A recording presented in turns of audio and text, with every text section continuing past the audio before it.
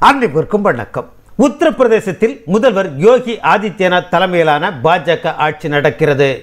இங்கு பிரபல ரவுடி விகாஸ் துபே மீது கொலை கொள்ளை ஆழ்கடத்தல் உட்பட அறுபதுக்கும் மேற்பட்ட வழக்குகள் உள்ளன. விகாஸ் துபேவை பிடிப்பதற்காக கான்பூர் அருகேயுள்ள கிராமத்திற்கு சில தினங்களுக்கு முன் போலீசார் சென்றனர்.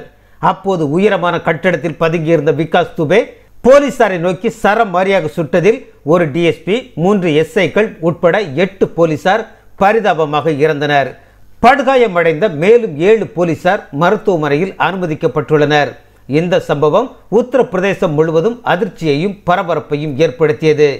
இதனால் கடும் முக்கரமடைந்த முதல்வர் யோகி ஆதித்யநாத் வேறெந்த முதல்வரும் யோசிக்கவே பயப்படும் விஷயத்தை அசால்ட்டாக செய்து முடித்துள்ளார்.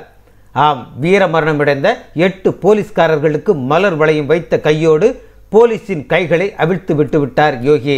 பொதுவாக போலீசார் குற்றவாளி வீட்டுக்கு போகும்போது ஜீப்பை தான் எடுத்து கொண்டு போவார்கள். ஆனால் யோகியின் போலீஸ் புதிதாக ஜேசிபி எடுத்துக்கொண்டு போயிருக்கிறார்கள். எட்டு போலீசாரை கொன்றவரின் வீட்டை இடித்து தரைமட்டமாக்கி இருக்கிறார்கள் இரண்டு சொகுசு கார்களையும் அடித்து நொறுக்கி இருக்கிறார்கள் அத்தோடு குற்றவாளிகளையும் தேடி பிடித்து என்கவுண்டரில் போட்டு விட்டார்கள் புதுசு புதுசா யோசிக்கிறார் யோகி. நன்றி.